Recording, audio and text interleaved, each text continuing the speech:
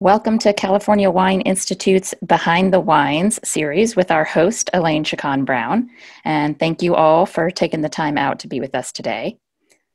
As we move towards the busiest and most exciting time of the year when the grapes come in for harvest, uh, during the month of August, Elaine will guide conversations with leading figures behind some of California's most seminal wineries to learn how they have changed perceptions of California wine established unknown regions, and raised standards to build California's profile as one of the world's top wine regions. And they haven't done that in an isolated context. They have been heavily influenced by other great wine regions like Burgundy or Bordeaux, and in turn, they have helped shape viticulture and winemaking practices in those historic areas. So, this chapter aims to illustrate how the world has changed California and how California has changed the world. Today, we have the privilege to welcome Jim Clendenen. Before we get started, some housekeeping reminders for everyone. Uh, during the webinar, note that there are two communication methods available to participants that we encourage you to use. There is a chat section as well as a Q&A section, and these are different. The chat section is an informal way for you to communicate with other participants. Just be sure to select everyone in the to field as it can default to panelists only. Then there's the Q&A section, and this is where we'd like you to submit your questions for Elaine and Jim to answer towards the end of the webinar. We will do our best to address your questions, uh, but please know any that are not answered live, uh, we'll try to get answers for you in the summary uh, email that you'll receive following the program. Now I'd like to introduce our host, Elaine. In addition to writing for her own site, Waka Waka Wine Reviews, she serves as the American specialist for JancisRobinson.com and contributes to a long list of respected publications. She contributed to the eighth edition of the World Atlas of Wine, which has won multiple awards very recently, as well as the award winning fourth edition of the Oxford Companion to Wine. She was named by the International Wine and Spirits Competition and Vinitaly as one of the world's top five wine communicators of the year for the last two years in a row. And Jim, the winemaker, owner, and mind behind of Au Bon Climat in Santa Barbara County, after working a few harvests in California and abroad, including Burgundy, Clendenen decided in 1982, along with Adam Tolmach, to start a winery dedicated to Burgundian varieties. Since 1990, Jim has worked solo at the helm of Au Climat, which means a well exposed vineyard, building the winery's recognition worldwide for classically styled wines made from Pinot Noir, Chardonnay, Pinot Blanc, and Pinot Gris. And now, Elaine, I'll turn it over to you. Great, thank you, Katie. I want to Thanks, thank Katie. I want to thank everyone uh, for being here with us today. And um, I've heard that there's a strong contingent viewing from Germany, so I want to give a particular shout out to to you. I've heard that some people did some hard work at making sure that the wines are available to all of you. So welcome. And um, welcome, as always, to everyone from around the world. It's it's such an honor to be able to host these conversations with all of you. But Jim, thank you so much. It's really good to see you, and uh, we really appreciate you making time. I know this is a busy time of year. It is. It is. We're getting ready to pick grapes, and mostly what we're doing is trying to bottle all of uh, the last two years' wines that are ready to bottle now, so we can make room for it. So we'll be working straight through from now until uh, I think our first grapes are slated to be some Sonoma Pinot Noir, which will be coming in just around the end of uh, August. Well, and how are things looking there in Santa Maria Valley? You know, we're a little cooler than we have been, even though the last week has been scorchingly hot. It's getting cool again. Looks to me like it's going to be what used to be what we called traditionally a normal harvest, beginning in in like the first week of September and then progressing from variety to variety. Uh, for a long time, we stopped doing that. In 14 and 15, you might remember, we were picking in July. Yeah. It was absolutely crazy, but um, uh, we're we're gonna gonna I think have a normal year. We have good yields, not great yields. They're kind of spotty, a little bit like 19, but all in all, under the radar because of everything weird that we've had in weather patterns. The quality of, of vintages from 15 until 19 has been very, very, very high on balance. Yeah, which is great. Well, and you something you just quickly referenced, you know, you of course are right there in Santa Barbara County and especially in Santa Maria Valley, but a lot of people don't realize you do actually get fruit from vineyards around the state and have even as far north as Mendocino. But you, as you mentioned, your first fruit this year will come in from Sonoma. Well, you know, you know, uh, one of the things, Elaine, that people don't know about me is I have a side that is self-indulgent. I have a side that is still questing, like I'm a little kid running around in my uh, diapers. And so, if somebody offers me good grapes or a possibility of a joint ventureship, I make a lot of wine. And uh, my my Russian River project with uh, the, Mendelsohn family up in uh, Windsor in, the, in that area, uh, I've been doing for more than 20 years. And it's really a, it's an extraordinary project. We try to make wine uh, without adding acidity, without um, chaptalizing, without doing anything to adulterate the uh, product, which means we have to pick relatively on the low alcohol side to get the acidity high enough for me to be excited with. And the project's been very, very, very uh, uh, satisfying to me. Well, that kind of the you strike me as someone that has a really nice balance of sort of insatiable curiosity, but an ability to hold your line at the same time. And it's uh, you know a lot of people kind of err into one or the other, sort of too much stubbornness or or um, or so much curiosity they only wander. But I think you know what you're talking about is this. I think it's helped uh, maintain Bon Climat, but also your interest seems like. Absolutely. Yeah, which is great. But one of the things I know you wanted to talk about today too is how um, you know people are so curious about how does a winery evolve, how does a winery establish its style, and you actually got started. Um, you know, you fell in love with wine in Europe in the 1970s, and then came back and it, it still in the 1970s and started working at Zaca Mesa there in Santa Barbara County.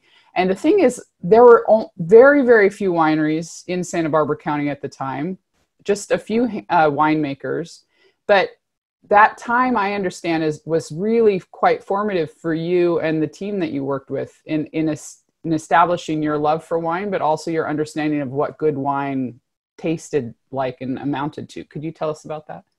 I sure can. You know, we always gloss over the original experience in California by making jokes saying that in California they, they taught me how to turn a pump on.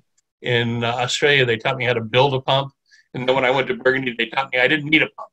And so that was kind of the slow evolution. But in reality, um, the uh, the period of time at, at Zaca Mesa was pretty magical. We had uh, Bob Lindquist, who uh, started Qupé and now has Lindquist family, and and is my partner out here at uh, uh, Once Upon a Time Clendenen Lindquist Vintners, uh, still upon a time, and Adam Tolmach, who was actually because Adam uh, was, a person that was raised in a family that encouraged entrepreneurial behavior patterns. And uh, his mother was a lawyer, father was a doctor, and uh, in my family, my father worked in a corporation. He didn't really want my uh, mother to work. She was a teacher, so she taught us. It helped me out a lot in my life, but um, it was a whole different environment. And Adam wanted to start a company. He believed we could, and we did.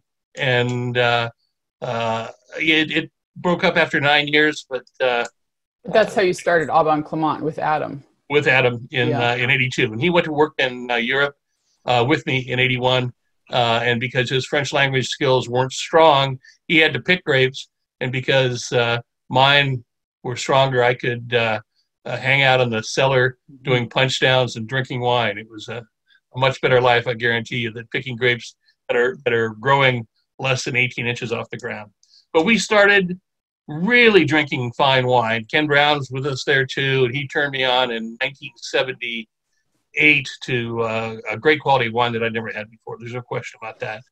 Uh, but we were in, we we ended up doing wine tastings afterwards. We ended up, you know, reading everything we could about open top fermentations, about malolactic fermentations with white wine, and they were all things that weren't being done commercially in California. Every time I bring it up, there's some crusty old codger, even crustier and older and more codger-like than me, who says, "Well, you're forgetting about Chalone, you're mm-hmm. forgetting about Martin Ray. and I'm not.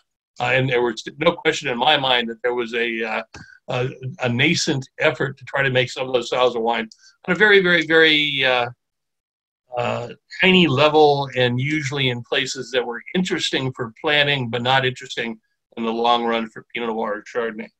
And so this was all the you know chaotic you know laboratory kind of uh, work environment that, that we were part of, and it was something that prepared me then to go down to what I thought were cool climates in Australia, and they weren't mm-hmm. quite as cool as I think Australia needed to have for great Pinot Noir and Chardonnay. But uh, we made interesting wines there. There's no question about it. And then when I went to Burgundy, I, I worked for Domaine Duke Magenta in uh, Auxey Duresses, and I and I worked with Gerard Potel, the late Gerard Potel, and much missed and much lamented from Côte Loup And those people just opened doors in production techniques, in um, styles of wine. You know, I mean, we bounce around a lot in California in styles of wine. Elaine, as, as, as you well know, you know, we went through the uh, yeah. food wine things of the of the late '80s, and then we're all, all of a sudden we're in the uh, uh, balanced wines for about a minute, mm-hmm. and then then we go to uh, port-like Pinots and uh, sherry-like Chardonnays, and it just why I don't know, I don't know. You know, is it just a question of having no rudder? You know, I always thought that when people uh, ran through California, people like like uh, Parr and and Jasmine Hirsch, and asked people to join a group that was called In Pursuit of Balance. There were 35 wineries that wanted to be part of that and in the end, maybe a few more. But the uh, are you guys okay hearing? I've got a little dog. Yeah, no, it's okay. Yeah, the sound's okay, fine. Good. Yeah, thank you. Yeah, you bet. So um, I think that, that um, if you drove through Burgundy and you had a loudspeaker on top of your car and you asked in 50 different villages, does anybody want to join in pursuit of imbalance? Nobody would say yes and uh, and so how we got in those situations where we're bouncing back and forth like a pendulum on a huge level of stylistic change. Uh, I don't know, but I'm I'm just guessing.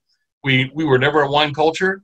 We're barely a wine culture now, but where we've come in production and in consumption in America over the last 30 years has been absolutely extraordinary. Quality of wines made here, quality of wines that we can deliver to people in a style that makes sense and in a style that is increasingly less and less available in the world. Burgundy is not getting any bigger, and the number of wealthy clients for Burgundy from China, from Brazil, from India has uh, increased exponentially. Well, I, you know, I, I have to say though that you the work that you've done has had a profoundly positive effect in California. And you know, you're talking about how California changed style so many times, but there's a way in which you have really had a clarity clarity of vision to a large extent with Au Bon Climat from the beginning, and really have helped maintain that style. And the truth is that, um, you know, for forgive me for saying this to you directly, but you know, I think you you truly are one of the most important and influential winemakers in California. But um, because of that clarity of vision, but also because you really have worked to foster newer, younger winemakers and the the sense of community you've created through your winery there, and helping to kind of mentor people and but also create a sort of familial winemaking community has had a profound effect on California wine and has really helped build Santa Barbara County as a wine as a true wine destination now as well. Well, thank you very much. I appreciate you saying that. We've been sort of uh, getting ready for international attention, respect, response, recognition now for uh, over 30 years. So I'm bound and determined one day to be an overnight success. Right. then everybody's going to recognize it. In the last couple of years, I have to tell you, there's been more recognition in the aftermath of In Pursuit of Balance, where people recognize the style, want the style, and appreciate our contribution to the style, there's been far, far, far more uh, respect and attention to the style of wines we're making than we had in the past. Obviously, in the late um, 80s, when nobody cared about super high octane wines, we were sort of a top 10 most interesting wineries program in the Wine Advocate. We, uh, you know, got a lot of attention from the James Hallidays of the world, the Matt Kramers of the world. We, we, we were really doing well for the tiny little little amount of wine that we made. And then for a long period of time, as the company kept growing, because we had, we had fans, we had people who appreciated the style of wine that we made. For a long period of time, the um, we, we the, the, the, the sun didn't shine on me. The sun the sun didn't care. Yeah, you were out of favor, care. out of trend. You were yeah. very much out of favor, and uh, and you know it's uh, it's a difficult thing to, to battle. But at no point did I ever want to change wholesale the style of Au Bon Climat. Instead, we got more and more and more refined with what we did. And every different department of what we could work with to make the quality of the product that we were we were making higher uh, was um, from the bottles that we use to make sure that there's no vibration or light shining through them, mm-hmm. to, to, the mm-hmm. corks that we use, which we uh, we spent so much money on finding the best corks we could find, and we've been lucky with corks. We've never been devastated uh, the way a lot of California wineries were in the late 1980s and stuff. And and then the uh, grapes that we replanted, and now uh, I'm working with two vineyards that are still almost 50 years old, mm-hmm. And Sanford and Benedict, with the original plantings that they had there, which is an extraordinary thing because I don't I disdain many old vines because the people that planted them had the wrong density, yeah. the wrong yeah. orientation. They didn't understand on any level what was good. So how could they be better after 50 years? They're just older. But we have those two vineyards, which are extraordinary. Bien Nacido, absolutely extraordinary. Sanford Benedict, the best piece of dirt that I've ever seen to plant anywhere in the world. I planted my own vineyards and, and my own vineyards and uh, all, all of the things that I replanted at Bien Nacido and that I planted at Le Bon Climat, uh, and the majority of things at uh, at Rancho La Cuna are now 20 years or older. And so it's just giving me a really sweet spot right now to make yeah. the style of wines that I want. And I understand fully the style of wines that I want to make. I'll tell you just one really quick thing in the style evolution thing. Um, there were a lot of critics that liked bigger wines that I was making. There were a lot of critics that didn't like acidity. There were a lot of critics that um, couldn't understand my attitude, my lack of uh, grooming, and my uh, big freaking mouth. And so we, we ended up, you know, butting heads with a lot of people. Uh, but one of the guys we didn't butt heads with was Dan Berger. And Dan Berger was writing for the LA Times at that time. Dan was um, a really bright guy and he loved sports. He was writing about sports before he was writing about wine. I love sports. So he and I talked a lot about sports. And uh, finally, one day in 1992, he named me Winemaker of the Year for the LA Times. And we'd never had anybody from the Central Coast that even made the top 10 or 15 or 20 or 25. And he said, Look, I don't like the Au Bon Climat wines. They're not my style of wine. They're too earthy, they're too spicy, they're too complex, they aren't open, rich, generous enough. But if anybody wants to make that style of wine, I would only trust one person to make that style of wine. And he, he said he knew that I knew what I was doing this is what I wanted to do. And so he gave me recognition for that. And you know, how many people are open minded like yeah, that? How many yeah. circumstances go around like that? Yeah. No, I've gotten to travel actually with Dan and do a lot of tastings with him. And he's somebody that I try to really respectfully listen to because he's got such a history of knowledge with the state, but also with global wine. Um, we have a visitor. Um, so let's go ahead and look though at where where we're talking about in the world because sometimes um, internationally and even here in California, people can get confused about where Santa Maria Valley is. So let's go ahead and look at some maps just briefly um, so people know the uh, region of the world we're looking at. This is, of course, a big map of California. It shows all of California. And you can see uh, Katie has done the work of highlighting the area we're focused in on. That black box there centers Santa Barbara County. And then if we zoom in to the next map, this helps us see Santa Barbara County as a whole. You were talking about Sanford and Benedict Vineyard. It's there at the bottom part of Santa Rita Hills, um, which is in the Santa Ynez Valley and close to the town of Lompoc. But we're actually t- um, speaking today mainly about the northern part of Santa Barbara County, which is their Santa Maria Valley near the town of Santa Maria. And it's actually one of the most agriculturally diverse um, regions, certainly in the state, but also in North America and even in the world. There's incredible uh, range of agricultural crops and and even um, avocado plantings. And um, but f- importantly, there you can see it's um, relatively close to the ocean. And Santa Barbara County, but Santa Maria Valley especially, if you focus in closely on this map, you can see the mountain texture there. And what it's important to notice is that the Santa Maria Valley is a river valley and it does have hills and mountains on either side but in on the north and the south. And what that means is the santa maria valley is fully exposed to the influence of the ocean. And the ocean current there in the pacific off the coast of santa barbara is actually one of the coldest ocean currents in the world. And so this region actually gets um, daily very cold maritime fog. It also gets a daily cool afternoon wind. And what that means is we actually are talking about in Santa Maria Valley one of the longest, slowest, coolest growing seasons in North America. Um, and so the the grape ripening happens over a very long, slow period of time through the year. And if we focus in to the next map, which is just Santa Maria Valley, we can see here Bien Nacido and your vineyard Le Bon Climat on either side of the Sisquoc River, which forms the Santa Maria River Valley.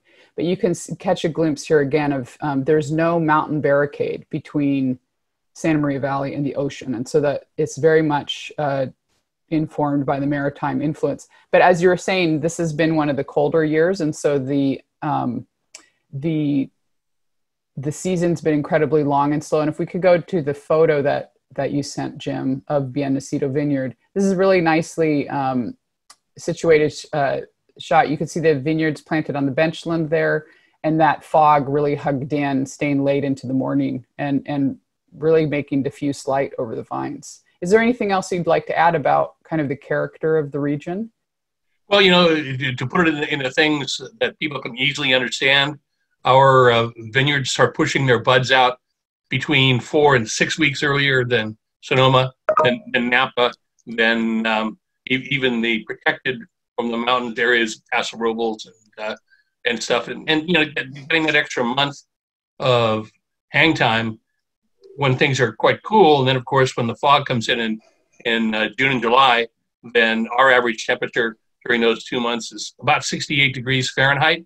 Yeah, it's incredibly cold. Incredibly cold. Up up in the north coast, uh, it, it's often during that period of time in the, in the 80s. And when we get into August and September, uh, we finally get into the 80s, which is a nice thing, and uh, mostly in the 70s. But we get into the 80s. But when we're getting into the 80s, other people are getting into the hundreds in Northern California. And then at nighttime, um, even even if we get up into 78, 82, 85, then then we drop back down into the 50s. And that temperature swing keeps our acidity. And I mean, all you have to do is taste the wines. Yeah. And uh, starting when I replanted my vineyards in 2001, uh, it was the first time I started getting five, six, seven year old uh, grapes to, to, to, work with. And it was the first time uh, in 2001 I didn't have to add acid to any wine that I made. Didn't matter what the grape was, nothing that I made. And I thought, boy, this augurs well for the future. And it certainly has.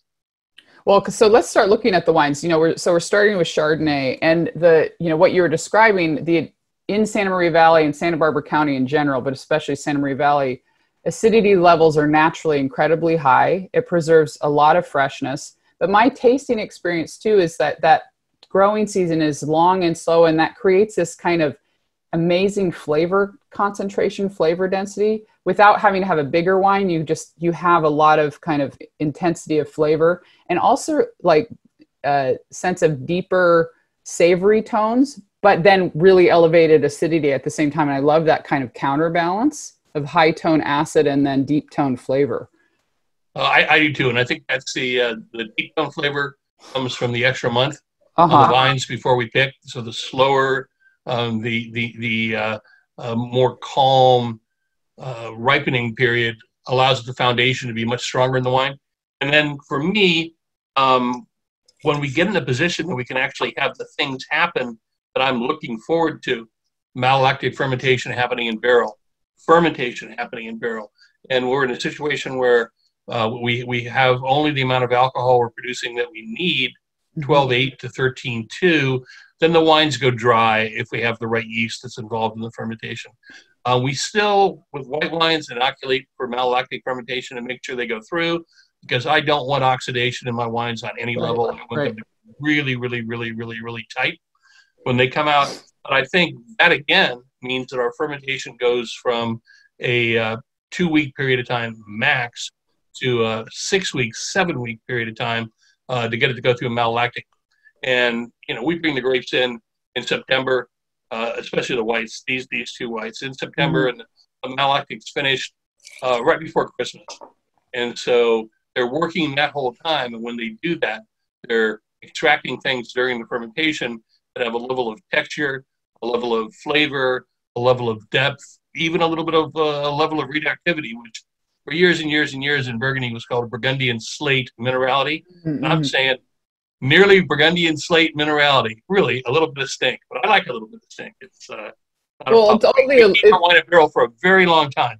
Our wines are in barrel for uh, up to two years, sometimes a little bit longer, and that growth stimulates better texture, better depth, better richness, and with, with without raising the alcohol. I mean, what you get when you harvest is one thing.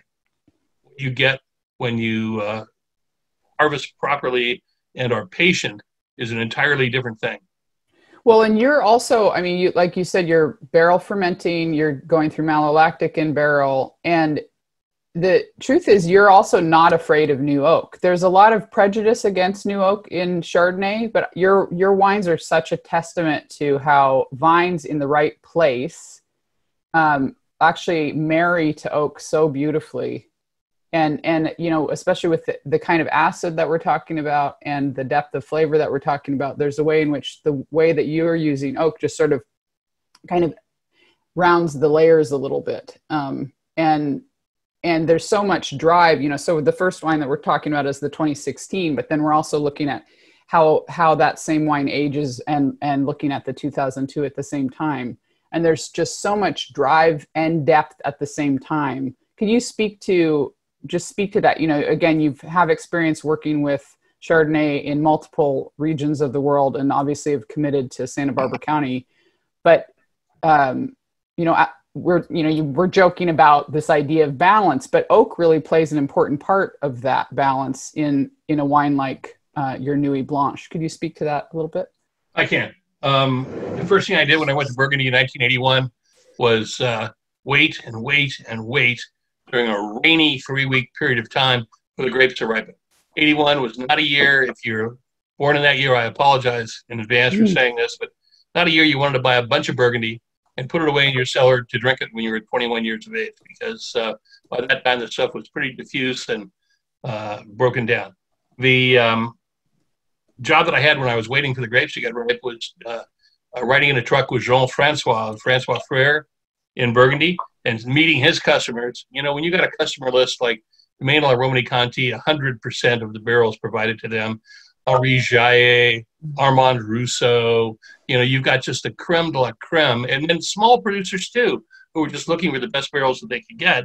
And so I got a chance to meet all these people and uh, and learn a lot about barrels. And so when I found out that Romanée-Conti worked with barrels uh, in a different way than anybody else, instead of 18 months air dried by the Francois Frere Company, they bought the wood in advance picking the sites they wanted. Nothing was homogenized or blended, different kinds of wood put together for a barrel. They got them from the forest that they wanted. And then they uh, had a heavy toast put on them and they let them dry in the in the elements for, uh, or they let them dry in the elements for three years instead of 18 months. And then they put the heavy toast on them and, and made the barrels. And so uh, I immediately went home and bought my wood first, aged it, and did the same thing. So by 19, 85, we were using three year air dried wood. And it really changed the quality of the wines that we had in a big way. I now have a new type of barrel I'm working with that I learned about from Pierre Yves Colin that, that is uh, 350 liter barrels bigger and mm-hmm. 100% new. And uh, they, they make the wines a little tighter, a little tauter, a little bit more reductive. And uh, since 2015, all of our top quality cuvées of uh, of Chardonnay are, are all made from and aged in those barrels. We're now moving a little bit of our Pinot Noir production into that too for, for, for special stuff. But that wood, once you have it, it's unmistakable. You know, when you go to Burgundy, every place is the same. If it's a Grand Cru, you've got between 50 and 100% new wood in it. If it's a Premier Cru, you've got from 25 to 50% new wood in it.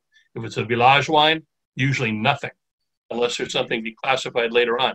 I make wine from 22.50 to 60 in Chardonnay, and I guarantee you that the $60 wines are 100% in new wood, the best wood on earth, the best grapes I can access, and they're the best wines we make far and away.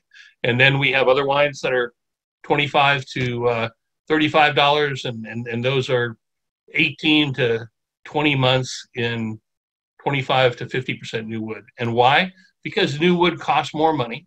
So right. I find it very convenient when things changed and and there were uh, critical uh, disapprovals over new wood, and so people stopped buying it. They saved themselves a fortune and lowered their prices.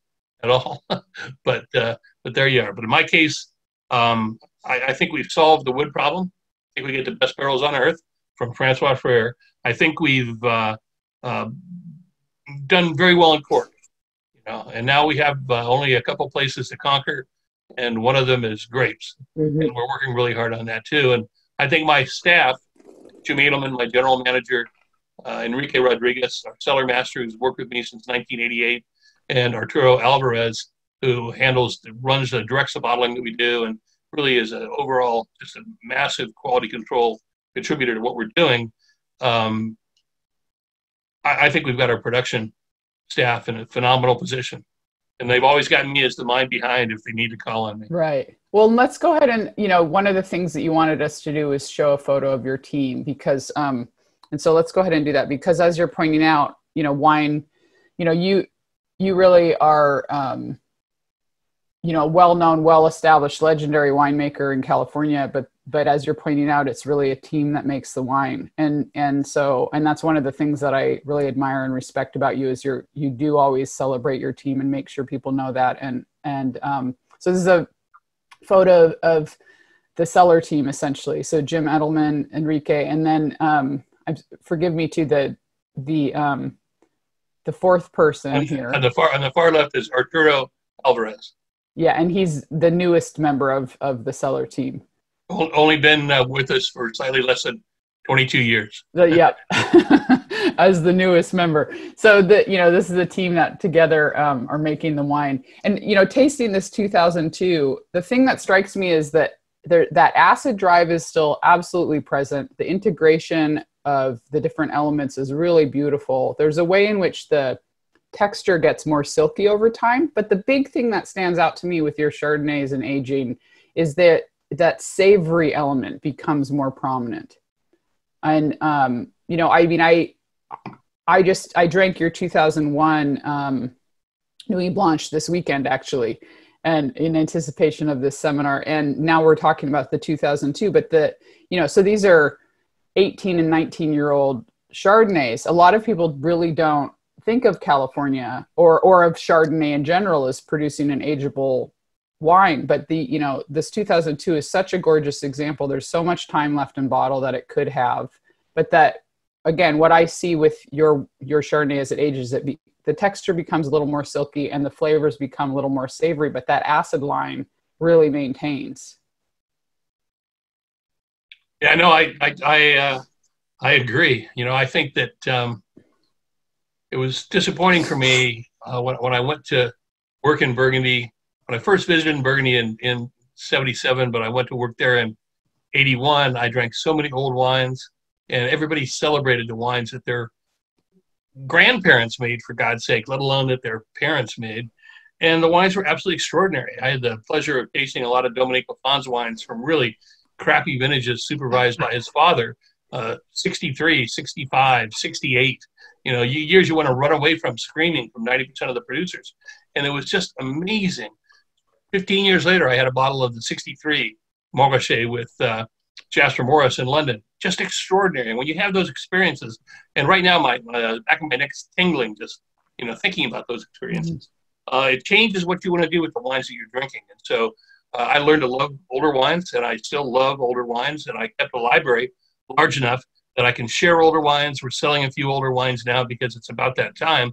But every day at lunch, we'll have people that uh, don't know our products really well when we're open. We're not open right now because of coronavirus. Right. I want you to know, and it, it's a real, uh, it's a nightmare to be spending a year of the last years of your life uh, trapped in your own home, your own company.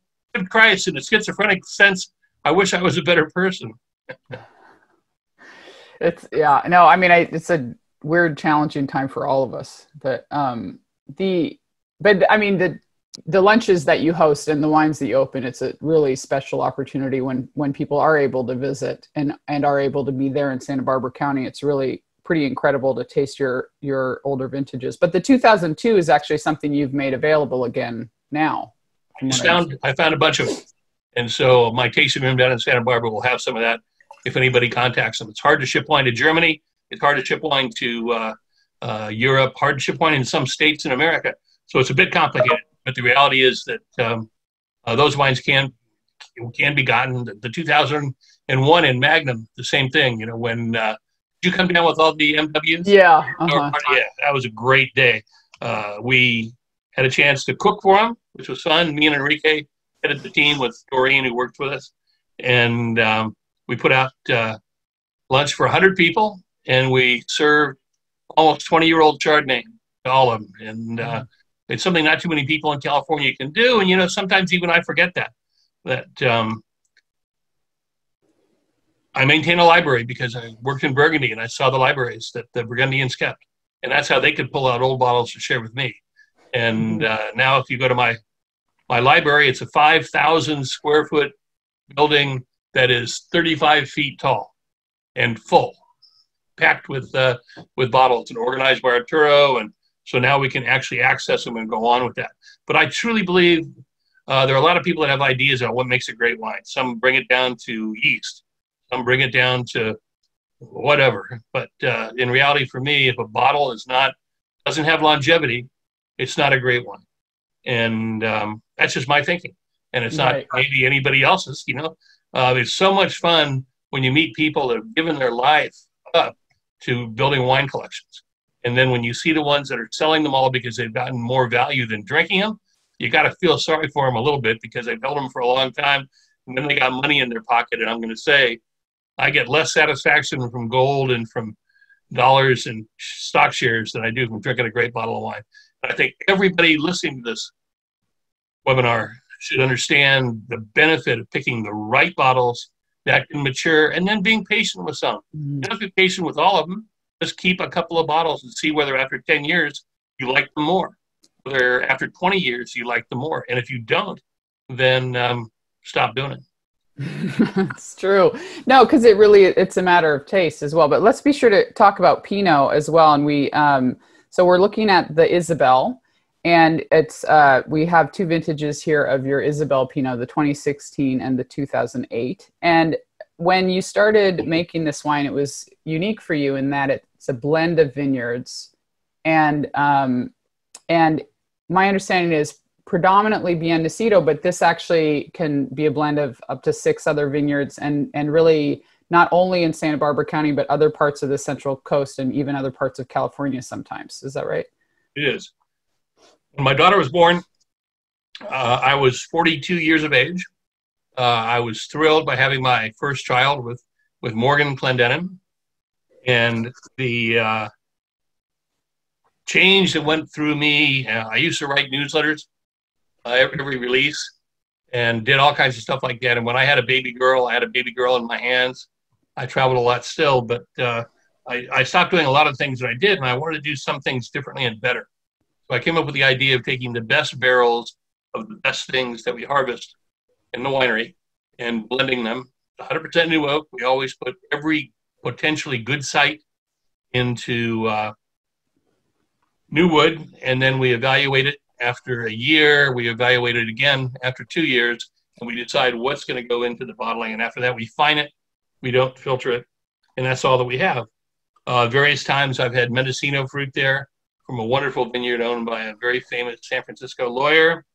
And I, have had the Russian River project that I'm involved with. And I'll tell you that uh, besides one section of Nacido, the largest amount of wine that goes into my Isabel is uh, Barra Mendelssohn now from the Lalapanzi vineyard up in the Russian River.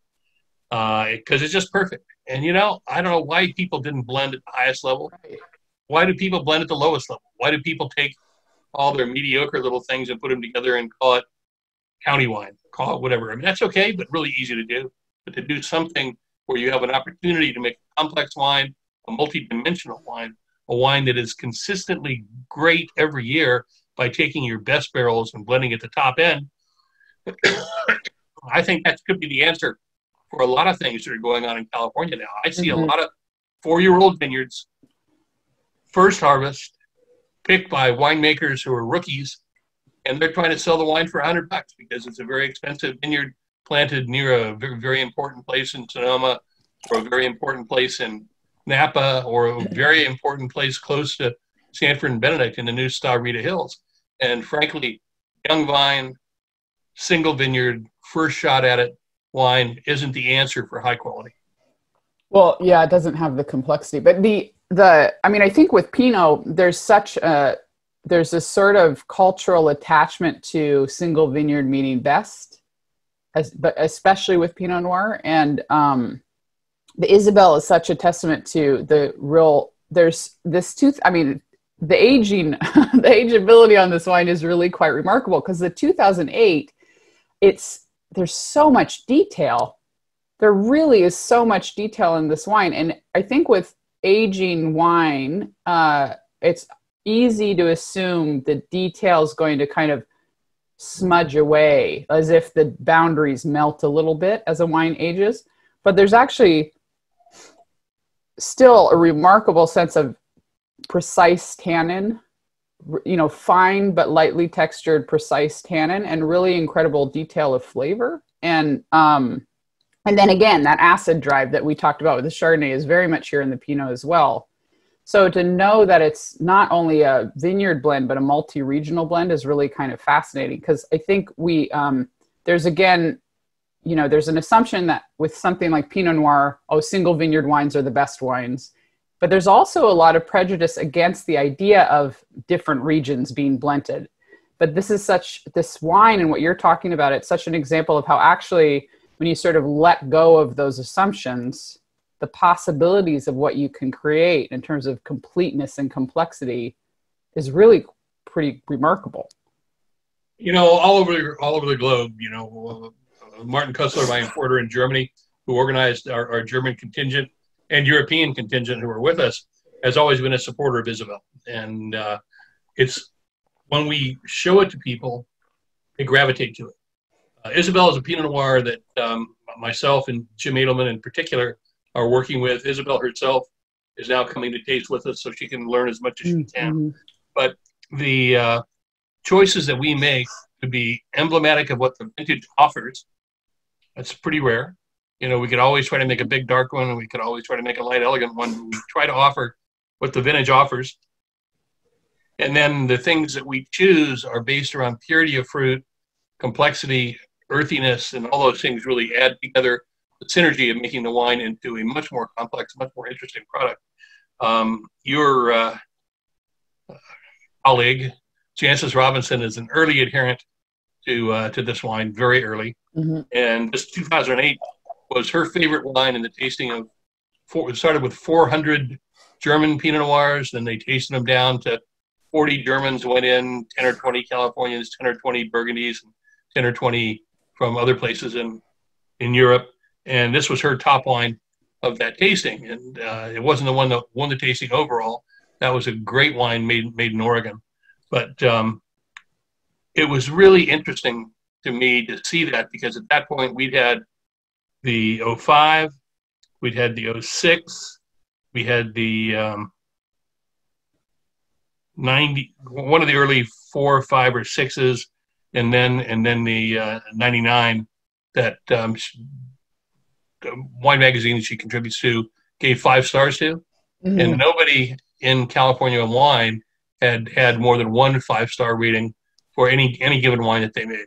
And so clearly we struck something in consistency and in accessibility and in understanding that appealed to a very serious clientele of critics and tasters.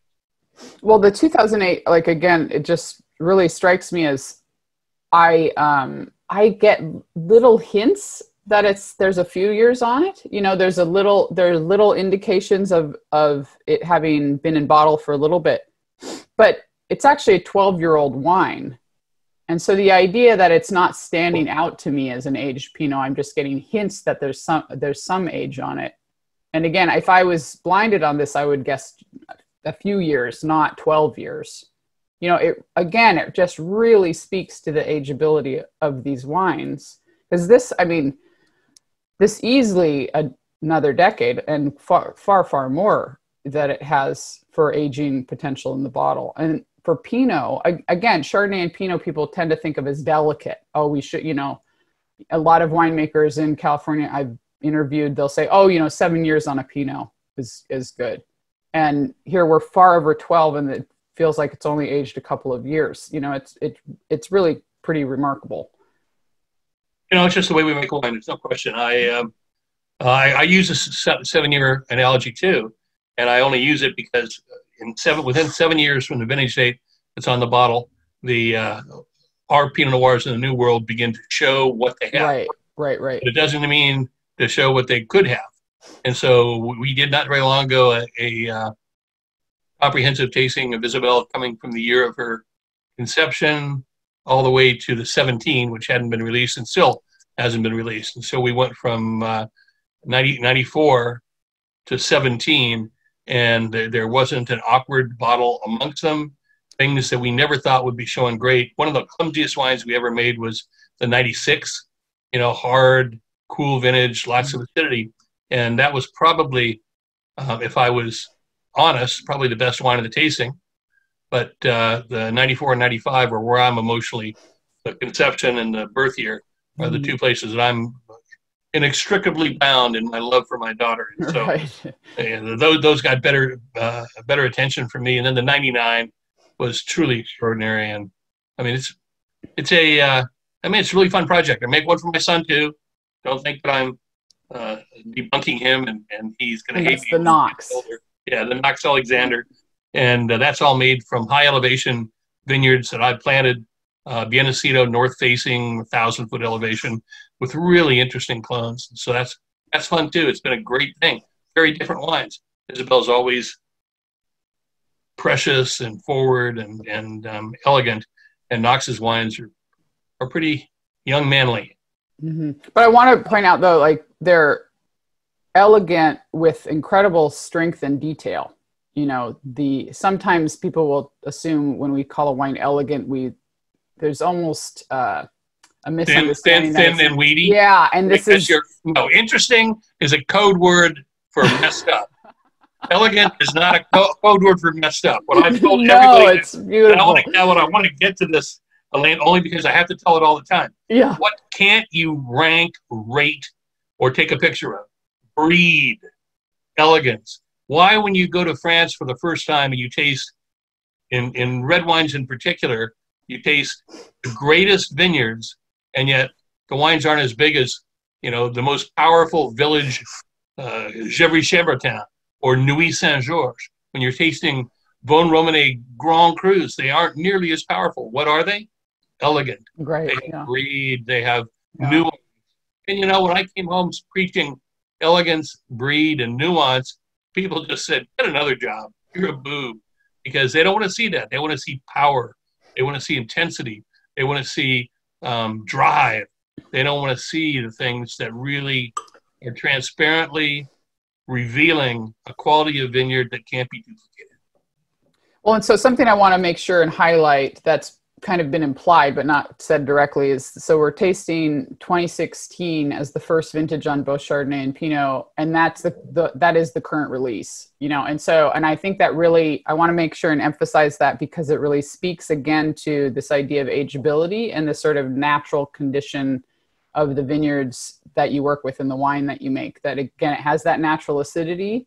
It, um, the wines like to age in cellar and then in bottle and and um, do very well with that. And um, somebody's asking about um, you know how do you know if a wine especially a pinot is going to go the distance? In my mind again that that kind of harmony and elegance that we're talking about plays a big role. If there's a sense of kind of a natural density without heaviness that implies that there's something to uncurl over time you know the the natural acid profile on a wine says a lot about the aging potential. Are there other things you would um, add that imply to you a wine has the potential to age? If you you know experience history and reputation. If uh, uh, you taste for the first time my 16 and don't think it's going to age uh, it'd be nice to have a wine merchant. Nice to have a, a, critic that you believed in. Nice to have somebody to say oh uh, we've had 25 vintages of that already and yeah. they're, they're fantastic and that's one of the ways you you know. I mean, I had to work out my favorite winemakers whether I thought their wines were better after 15 years, uh, and there were a couple that I did. Uh, one of the most famous, le- legendary is Henri Jayer. His wines were glorious at five years, glorious at 10 years, glorious at 15 years, and then the fruit just you know, couldn't stand up to the arriving complexity, and it changed the wines. You know, And then the flip side of that is DRC, where the wines can be hard and tight when they're uh, 10 years old. And then when you have them at 25 years old, they're absolutely yeah, glorious. suddenly they're Yeah, they need they need a little bit more to transform them. I don't think our, these wines, the Isabels, transform, uh, but I do think they become much more complex and delicious with time. And you know, once again, this time thing. When you and I were talking about it, it was a very difficult thing for me to talk about. But I talk about you, the consumer, spending your money to buy my wine, and then you have to keep it before you drink it. That's a con job. you, know? you don't think it's Yeah. great now? You don't think it's perfect? Put it away for 25 years. It'll be fabulous. I'll be dead. I don't care. Well, but the thing I want to point out though is you've not changed your prices. You know, if people, um, you know, can take a look back at the recording of this episode later, and they'll see, you know, the the Chardonnay in 2002 was the same price that the Chardonnay now in 2016 is. You know, that's actually pretty unusual as well, and it says a lot about your commitment to the consumer. Actually, that you're keeping. You know, our, our, our costs don't change that much. You know, I mean, it's easier now because our vineyards are more mature. We have more control of them. Uh, barrels have gone up a lot in cost. That's a little bit of a problem. But uh, it's, you know, wine pricing is such a funny, funny thing. And uh, I've often told people that at some point it became apparent to me that in a past life I had to be Genghis Khan or uh, Vlad the Impaler or uh, a, a progenitor of the coronavirus because I've had to do a lot of charity work and a lot of uh, yeah. yeah to make up. yeah. Well, so I want to make sure we have um, time to talk about Nebbiolo, and we only have a little bit more time left. But something, you know, you're so um, associated with Pinot Noir and Chardonnay that a lot of people don't realize you've actually really devoted um, a lot of your career and a lot of time and vineyard space to Italian varieties.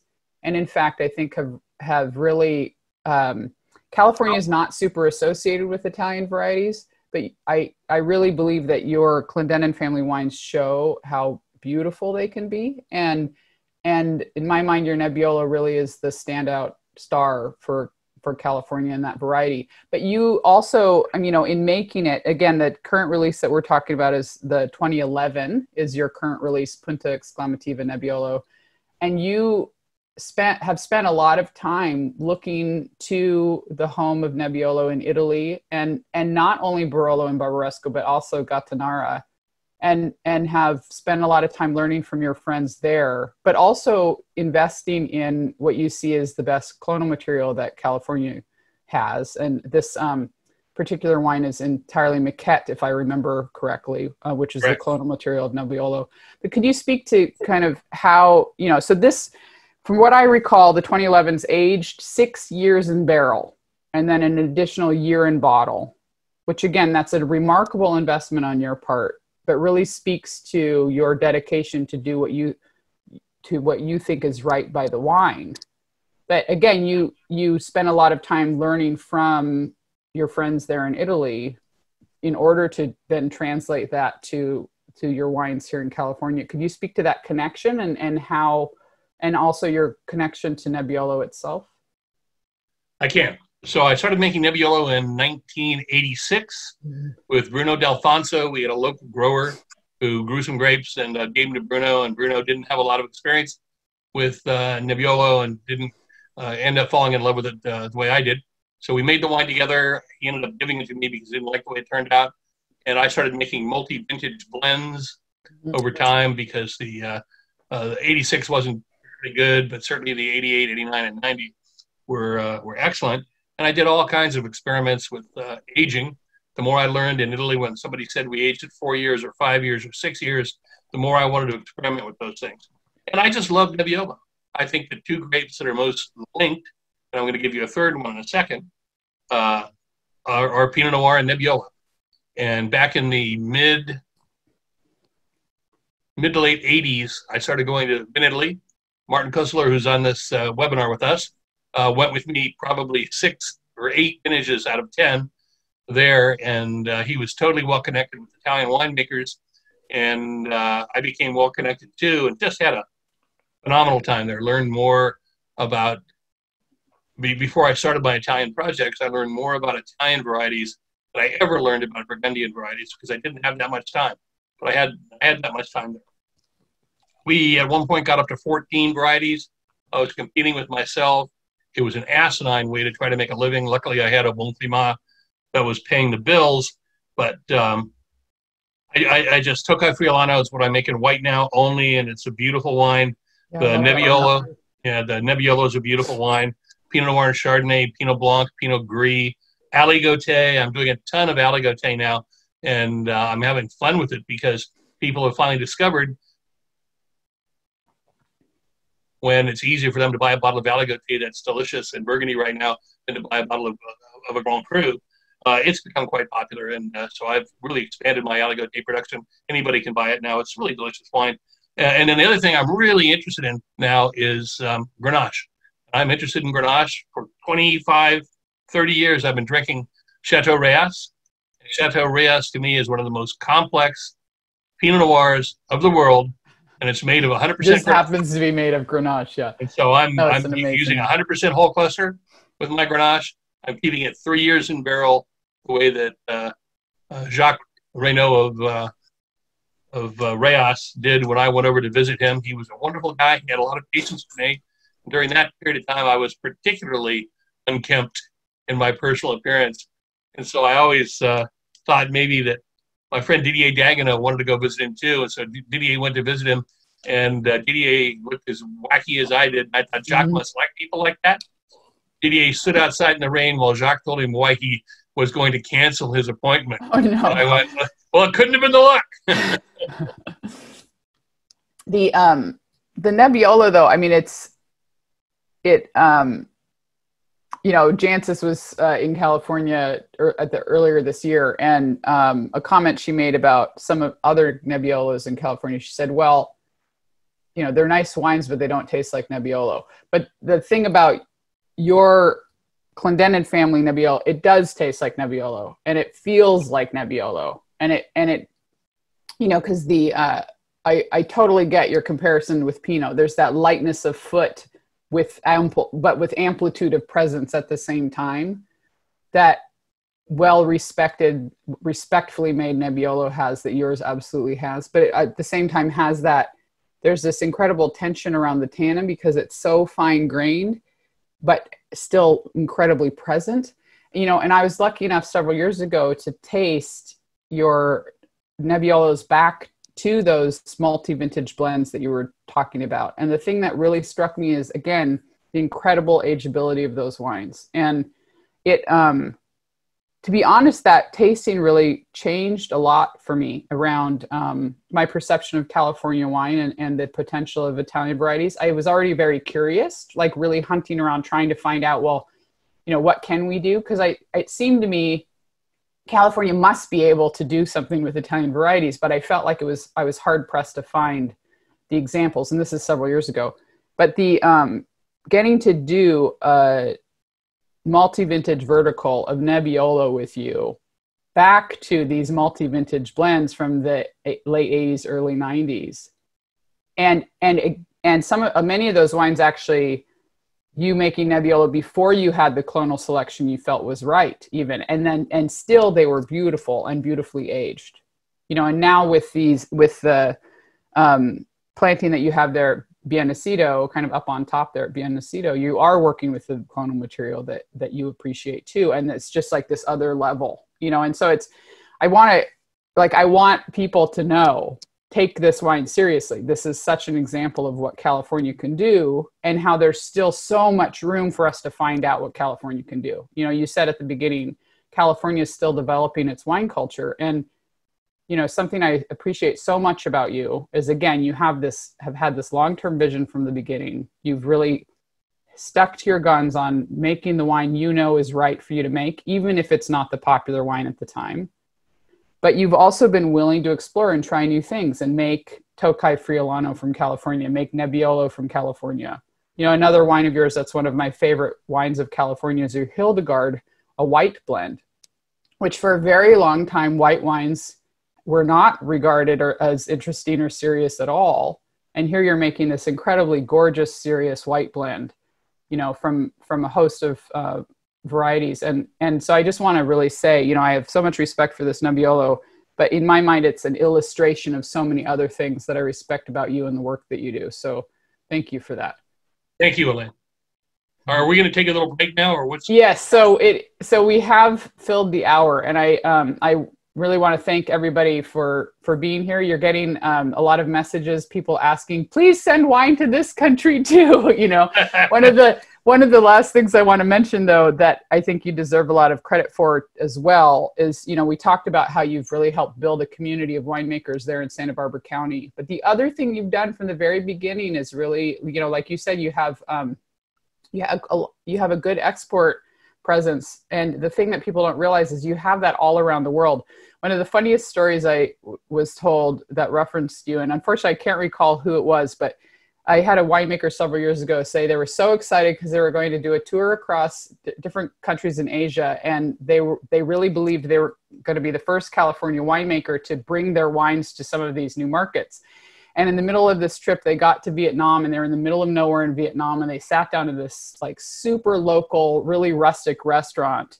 And the server came and gave them a wine list and there was Au Bon Climat. you know, and that. We probably had to work hard for him. I, am going to step away for a second. Yeah. Because uh, one of the difficulties of becoming an old, experienced well, winemaker is, is the bladder. And well, I'll, I'll, be right back. We're time to be done anyway, so let's go ahead and sign off. And thank you so much for your time, Jim. We really, we all appreciate this time with you. Thank you so much for being here. You're welcome. Thank you from around the world. Thank, thank you. you. Yes, thank you. Thank you, Elaine. Thank you, Jim. Thank you. And uh, just want to say thank you to all our attendees. Um, a recording of today's webinar will be published to the California Wine Institute's YouTube channel in the next couple of days, and all participants will receive an email with the link. And we also hope that you will join us next week as we continue this chapter of Behind the Wines. Uh, we'll speak with Ted Lemon, the biodynamic producer of Littorai Wines in West Sonoma County, and that will take place on Tuesday, August 11th at 10 a.m. Pacific.